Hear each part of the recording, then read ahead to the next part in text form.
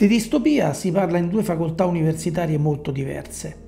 Nell'aula di anatomia è la posizione anomala di un organo rispetto alla sua sede solita.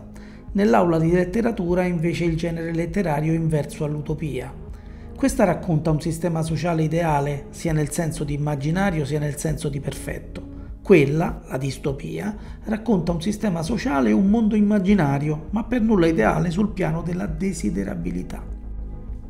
La rivista Il Libraio ha fornito un utile elenco di romanzi distopici. Fahrenheit 451 di Ray Bradbury, Arancia meccanica di Anthony Burgess, 1984 di George Orwell, Il mondo nuovo di Aldous Huxley, La strada di Cormac McCarthy, Il racconto dell'ancella di Margaret Atwood, Il complotto contro l'America di Philip Roth, La svastica sul sole di Philip Dick, Il signore delle mosche di William Golding, Sottomissione di Michel Houellebecq, La macchina del tempo di Herbert George Wells, Le meraviglie del 2000 di Emilio Salgari, Il cerchio di Dave Eggers. Sono tutti romanzi celeberrimi, tutti scritti dopo la metà del Novecento, con le due eccezioni dei precursori Wells e Salgari. Hanno quasi tutti un'altra cosa in comune.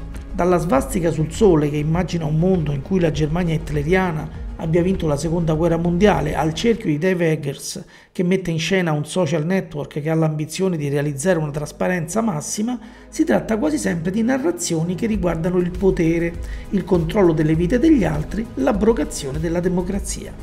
Frivolo ma curioso notare il dettaglio linguistico, per cui le società distopiche sono anche dispotiche.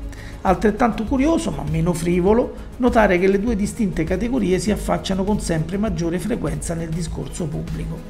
Il dispotismo è lo spettro che si agita dietro ai simboli fascisti, al folklore nostalgico, a una specie di normalità littoria che sarebbe paranoico ritenere davvero preoccupante se non capitasse in tempi di sovranismo, suprematismo e populismo mediale. La distopia, oltre che genere letterario, è anche divenuto termine di uso corrente. Alla fine degli anni 70 successe per esempio con Paranoia, quando si arrivò a coniare frasi come questa passasciutta è una paranoia. Oggi forse diremmo che è distopica.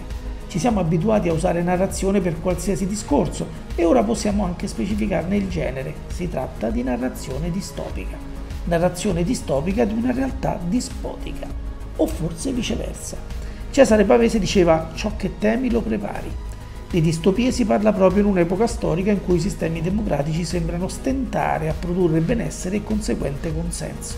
Nello stesso tempo, quando ci vengono prospettati scenari che sono definiti distopici, è difficile dimenticarsi che le distopie sono finzioni.